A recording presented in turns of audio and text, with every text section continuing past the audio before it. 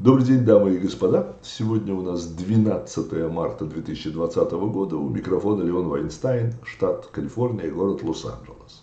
Сегодня поговорим о нефти. В 2016 году Россия решила присоединиться к организации ОПЕК и вместе координировать цены на нефть, таким образом заодно как бы предотвращая конкуренцию между членами этой организации, но значит, ни в коем случае не останавливая конкуренцию с другими поставщиками. До 1 апреля 2020 года, то есть еще месяц, до соглашения взаимодействия еще действует, но Россия уже решила от, как бы отколоться от ОПЕКа во время вот последнего кризиса, который сейчас происходит. Саудия предложила ОПЕКу, а, ОПЕК плюс, ОПЕК плюс его называли, так сказать, ОПЕК плюс Россия, а снизить добычу нефти, чтобы из-за проблем а, с замедлением производств в Китае и на самом деле по всему миру, они не привели, не привели бы к переизбытку нефти на рынке и к резкому падению цены из-за этого. Значит, будем производить меньше и держать э, цены на рынке, так сказать, решил ОПЕК голосованием, но Россия отказалась.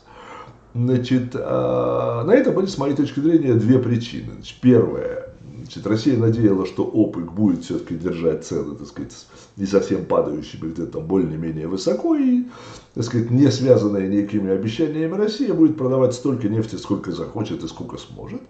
И второе, что из-за, значит, влияние российской нефти, цены не, не станут все-таки подниматься достаточно высоко, несмотря на то, что Россия нуждается в средствах, в Кремле надеются, что, ну скажем, годик продержаться, но зато за этот год многие с их точки зрения производители сланцевой, то есть добытчики сланцевой нефти, американские, естественно, могли бы разориться, остановить свои там производства и свои, свою добычу, законсервировать, а расконсервировать безумно сложно после того, как ты остановился. И перестать оказывать влияние на мировую торговлю. То есть, так сказать, использовать этот кризис в, как, так сказать, средство давления и вышиб, вышибления конкурента с, с рынка. Саудовцы посчитали, что отказ России – это удар ножом в спину, и пошли в атаку они объявили, что вот с того момента, как договор у них кончается с Россией, с 1 апреля, начинают поставлять на рынки на 3 миллиона баррелей сказать, нефти больше в день. То есть раньше они добывали, сейчас они добывают 9 миллионов, сказали, а мы будем теперь добывать 12 миллионов каждый день баррелей. И начали предлагать свою очень дешевую в добывании нефть на рынке европейских государств. И обратите внимание, по какой цене, это важно. По цене в 25 долларов за баррель. Россия поставляет уже много лет нефть в Европу, но даже на сниженных сегодняшних ценах, значит, популярная российская нефть Urals, наверное, это Урал называется по-русски, не знаю, Urals, так сказать, по, по-английски, это приблизительно аналог арабской легкой, так называемой нефти, продается по цене 31-34 доллара за бочку. Значит, Саудия предложила контракты по поставке во все нефтеперебывающие, нефтеобрабатывающие предприятия Европы, куда Россия завозила нефть, пообещав утроить поставки, если будет необходимость. Это решение саудов приведет к панике и к хаосу на рынке, естественно. Вот 9 марта значит, стоимость североморской нефти Brent она обрушилась на 30% до 33 долларов за баррель. К вечеру 10 марта немножко подтянулась на 10% и стала 38%. Но самое важное, что майские фьючерсы, то есть вот, так сказать, после 1 апреля, то, что придет майские фьючерсы, торгуются сейчас по 33,5 доллара за баррель. Саудовская Аравия, по, по данным Блумберга, решила вступить с Россией как Блумберг это назвал, тотальную ценовую войну. Я, честно говоря, не очень понимаю, что это значит.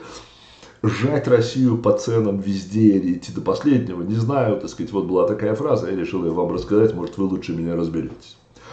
Учитывая, что стратегически Саудия, как и большинство ОПК, связаны с США, с Израилем через США и против Ирана, Сирии и России, можно предположить, что в этой ценовой войне есть еще и цель политическая – ослабить Кремль финансово, а значит и ограничить помощь Ирану и, и Сирии. Рубль пока держится в районе 74-75 э, значит, за доллар.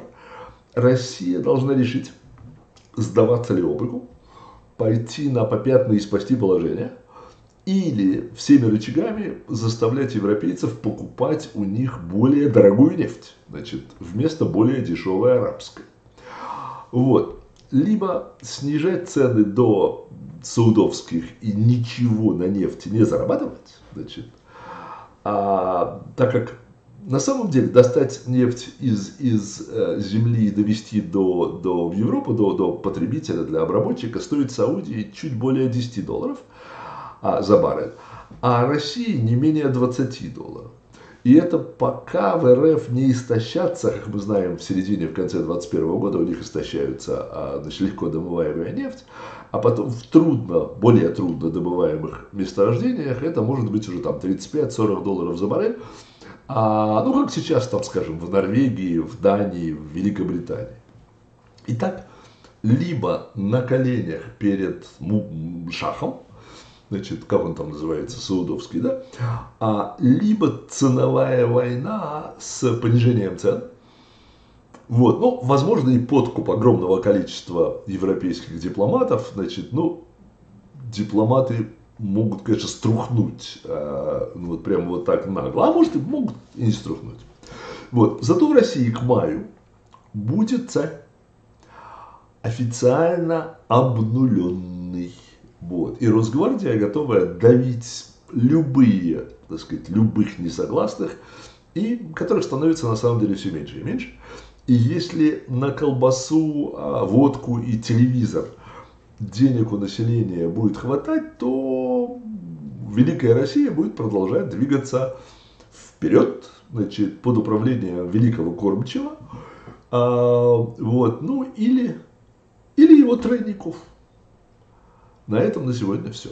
До свидания.